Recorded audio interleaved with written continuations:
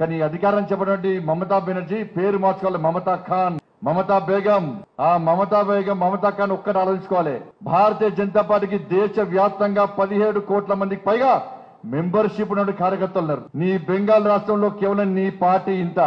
కానీ భారతీయ జనతా పార్టీ కార్యకర్తలు దేశ వ్యాప్తంగా ఉన్నారు. భారతీయ జనతా పార్టీ జాతీయ పార్టీ.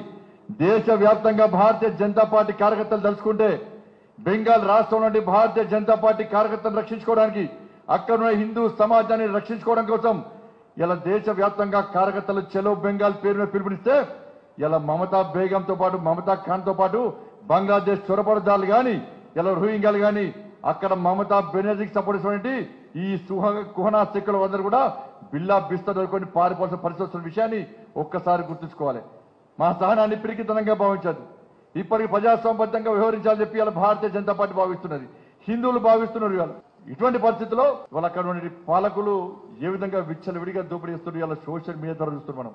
ఇవాళ సెక్యులర్ ఊర్జం అని చెప్పి చెప్పుకున్నటువంటి కొంతమంది మేధావర్గం ఇలా ఏడికి వెందో ఒక్కసారి చేసుకోవాలి. మీ చెవులలో ఏం పోసుకున్నారు? మీ కళ్ళలో ఏం పోసుకున్నారు? మీకు చెవులు వినబడతలేవు కళ్ళ కనబడతలేవు మీ నోర్లు మూతపడ్డాయి అందరి ప్రాణాలు ఒకటే. అంటే భారతీయ జనతా పార్టీ మీద కానీ హిందువుల మీద దాడులు జరిగితే అవి దాడులు కావు.